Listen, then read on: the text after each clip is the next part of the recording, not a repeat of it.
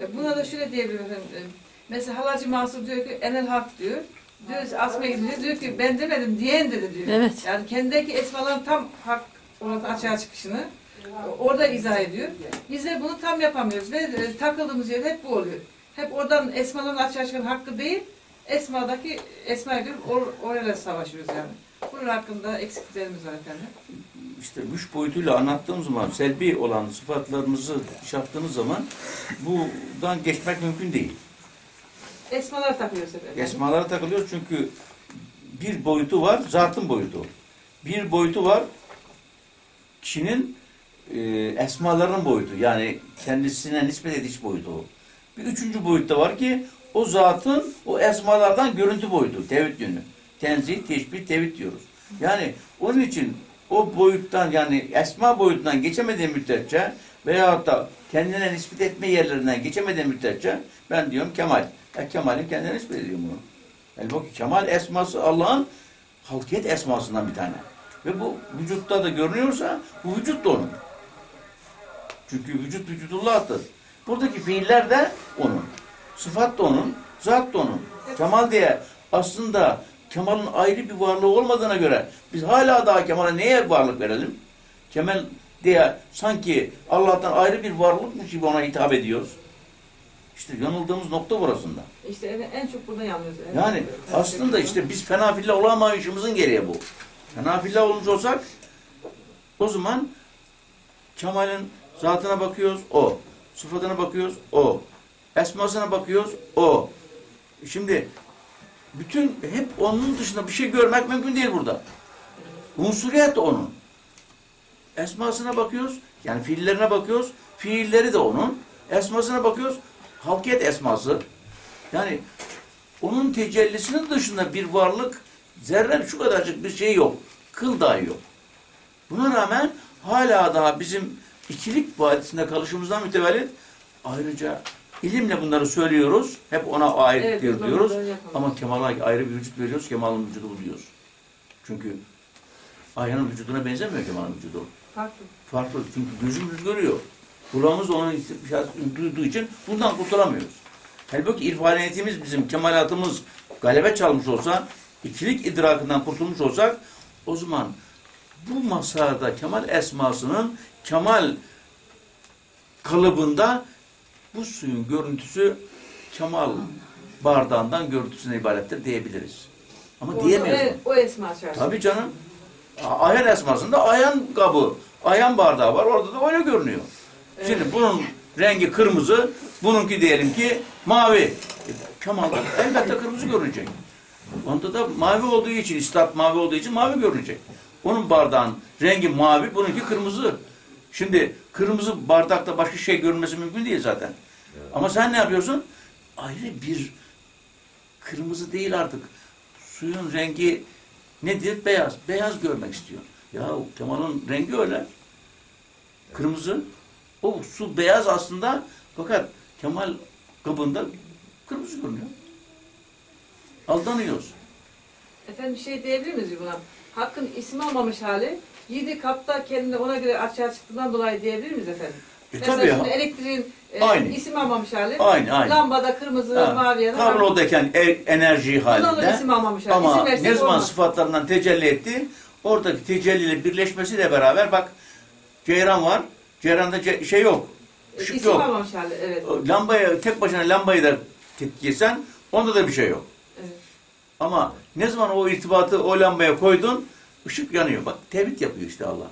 Tevhid. Tenzihi, teşbihi tevhid yapmış ve lambasının ışığını da biz istifade ediyoruz. İnsan vücudu öyle. Bir ruhsal yönünüz var, bir bedensel yönünüz var. İkisi bir, birleşmesiyle beraber adına kemal denmiş. Kemal esmasının fiilleri, kemal esmasının ne, istidadı neyse öylece fiiller görüyoruz biz orada. Aynı tevhid yapılmış. Tenzih, teşbih, tevhid. Dikkat ederseniz. Yani zat, sıfat ve fiillerle açığa çıkının idrakından başka bu alemde başka bir şey yok zaten. Bunun idrakına varmak için mutlaka ikilikten kurtulmamız lazım. İkilikten kurtulamadığımız müddetçe mutlaka kişilere nispet etmek devam eder. Efendim buraya ehadet zevki diyebilir miyiz? İsim almamış hali. İsim almamız var. Ahadiyettir zaten. E, hadise. Öyledir. Ondan sonra aşağı iniyor. Tabii isim almadığı yer uluyet mertebesidir veya ahadiyet diyorsunuz onu.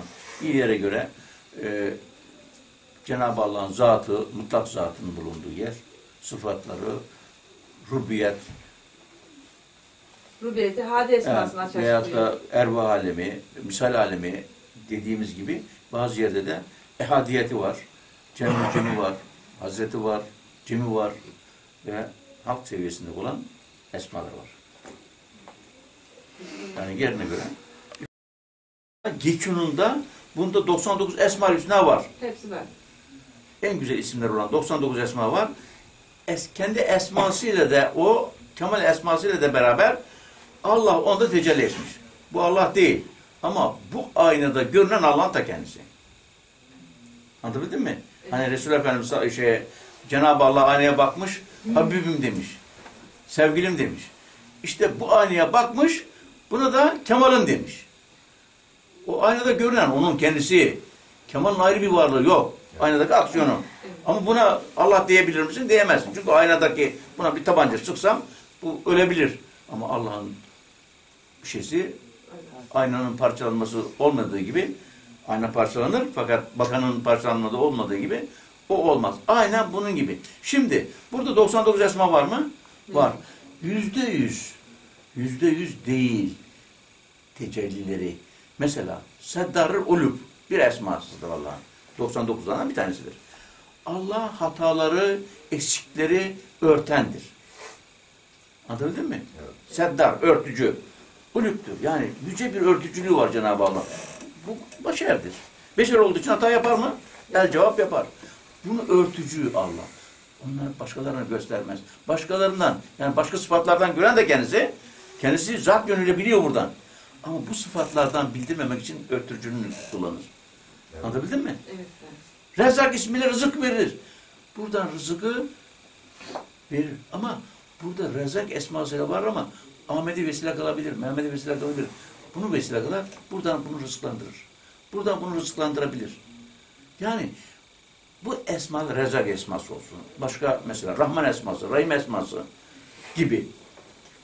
Mesela şeytan esması da vardır insanda. Muzil esması. Mudil esması var. Muzil diyor ona. Mudil deriz de muzil. Muzil geçiyor. deriz ama muzil diye geçer şeyde. Hadi esması da var. Hidayet eder. hidayet edici var. Evet. Mesela bunda hidayet edici ne kadardır? Yüzde yirmi. Misal. Ama kamillerde ne kadardır? Yüzde seksen. Şimdi bak dikkat ederseniz o da bir mazhar, o da bir mazhar. Evet. Kamil dediğimiz varlık da evliya da bir mazhar. Sen ben de bir mazharım. Bu, ben de sende yüzde yirmi var. O evliyada, o mürşid kamilde yüzde seksen var. Demek ki irşat ve terbiye oradaki müsaitlik bulmuş. Onun için bu 99 esma her insanda vardır. Fakat o insan istat ve kabiliyetine göre kimisinde yüzde iki, kimisinde yüzde beş, kimisinde yüzde on, kimisinde yüzde yirmi, kimisinde yüzde elli, kimisinde yüzde seksen vardır. Yüzde yüz ancaksın Resul Efendimiz sallallahu aleyhi ve sellem'dir o, o kemalatıyla olduğu zaman o artık tam manası aynada görüntüsüdür. Bir insan mesela aynaya baktığı zaman tırnağından saç teline kadar neyi görmek ister? Ben burnumdaki beni görmek istiyorum.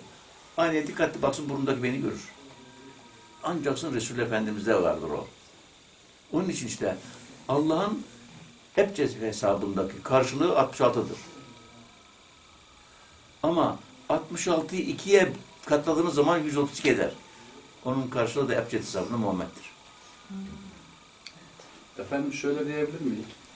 Hangi masar kabını pak tutup da Muhammedliği daha fazla isterse Heh. ona yüzde yirmiden yüzde otuz, yüzde kırk alabilir. Tabii tekamül var canım. Evet. Allah zaten tekamülden zevk alıyor.